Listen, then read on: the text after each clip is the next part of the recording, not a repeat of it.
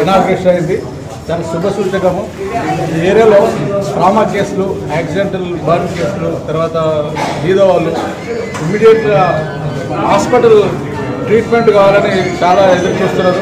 ప్రభుత్వ హాస్పిటల్లో కూడా ఇవి రద్దీ ఉండడం వల్ల నియరెస్ట్గా ఎక్కడో ప్రైవేట్ హాస్పిటల్ ట్రీట్మెంట్ చేసుకోవడం ప్రజలు చాలా ముందుకు వస్తారు. అటువంటి శుభ సందర్భంలో ఈ హాస్పిటల్ ఓపెన్ కావడం చాలా శుభసూచకము తప్పక ఈ హాస్పిటల్ మేనేజ్మెంట్ బీదలకు సేవ చేస్తారని తర్వాత హాస్పిటల్ మేనేజ్మెంట్ కూడా కోరేది ఏంటంటే ఎమ్మెల్సీ కేసెస్ ఉంటాయి మెడికల్ లీగల్ కేసెస్ ఉంటాయి డ్రామా కేసెస్ కానీ పాయిజన్ కేసెస్ కానీ కొన్ని ఉంటాయి.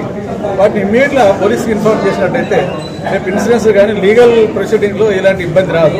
వాళ్ళు ఇన్ఫార్మ్ చేయకపోతే హాస్పిటల్ మేనేజ్మెంట్ పైన బయటను పడిపోతుంది. They have to prove that they have inform నా వై దే నాట్ ఇన్ఫార్మ్ అనేది లీగల్ మెడికల్ లీగల్ కేసులో కంపల్సరీ హాస్పిటల్ అథారిటీ పోలీస్కి ఇన్ఫార్మ్ చేస్తేనే దర్యాప్తు సరైన టైంలో స్టార్ట్ అవుతుంది.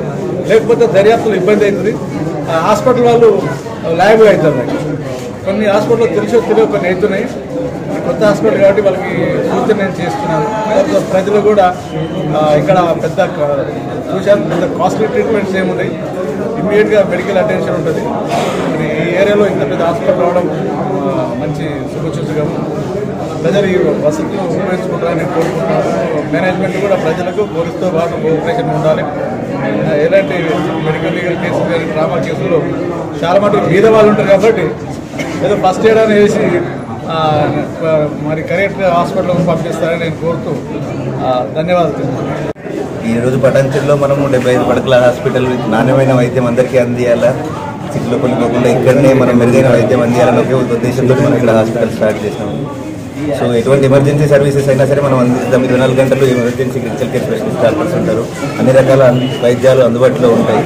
సో మా శాయశక్తిలో కూడా నాణ్యమైన వైద్యం తక్కువ ధరలకి అందిద్దామనే ఉద్దేశంతో మనం స్టార్ట్ చేస్తున్నాం. మీ అందరి సహాయ సహకారాలు కోరుకుంటున్నాం దానికోసం. మీకు ప్రత్యేకంగా వేరే హాస్పిటల్ ఉందో ఆ హాస్పిటల్కి ఈ హాస్పిటల్కి ఏమైనా ప్రత్యేకత ఏమైనా ఉందా? దాని మీ స్పెషల్ కేర్ ఇంకేమైనా ఉందా? ఏమైనా సేవలు ఏమైనా వేరే చేస్తున్నారా? దాని మీద. అంటే అన్ని రకాల సూపర్ స్పెషాలిటీ సర్వీసెస్ ఇక్కడ పటాన్చెరు ప్రిన్సెస్లో ఫస్ట్ టైం మనం తీసుకొచ్చినాం. ఓకే చిల్డ్రన్ ఏమన్నా పీడియాట్రిక్స్ పీడియాట్రిక్స్ కూడా ఉంది gynaecology paediatrics orthopaedics neuro surgery everything urology everything అన్ని డిపార్ట్మెంట్స్ మనం తీసుకొచ్చాం. ఐసీయూ కూడా full fledged ICU twenty bedded ICU and deluxe rooms super deluxe rooms అన్ని కూడా మనం స్టార్ట్ చేసినాం. సో ఫుల్ ఇన్ఫ్రాస్ట్రక్చర్ తోటి స్టార్ట్ చేస్తున్నాం. అందరూ దీన్ని ఉపయోగించుకోవాలి. లేదండి ఇది ఫస్ట్ మనకి ఇప్పుడు స్టార్ట్ చేస్తున్నాం.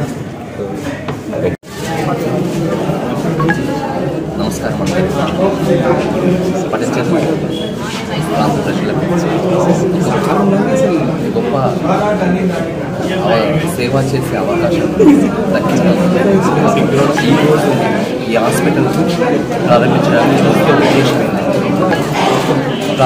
పటంచేరు ప్రాంతంలో ఏ విధమైన కార్పొరేట్ హాస్పిటల్ ఇప్పటివరకు లేదు పటంచేరు ప్రాంతంలో ప్రజలు ఎంతో ఎంతోమంది పారిశ్రామిక పారిశ్రామిక వాడల్లో నివసిస్తున్నారు. వీళ్ళను ఉద్దేశించి ఇటువంటి ఈ చుట్టుపక్కల గ్రామాలను ఉద్దేశించి ఈ ఆసుపత్రి నిర్మించబడడం జరిగింది. ఈ ఏరియా ప్రజలు మధ్యతరగతి వాళ్ళు దిగువ తరగతి వాళ్ళను ఉద్దేశించి హాస్పిటల్ నిర్మించడం జరిగింది. మిగతా కార్పొరేట్ల హాస్పిటల్తో పోల్చుకుంటే ఈ ఆసుపత్రిలో దాదాపు యాభై శాతం తక్కువ రేట్లకు మేము వైద్యం అందించాలనే ఉద్దేశం సదుద్దేశంతో ఈ హాస్పిటల్ ప్రారంభిస్తున్నాము.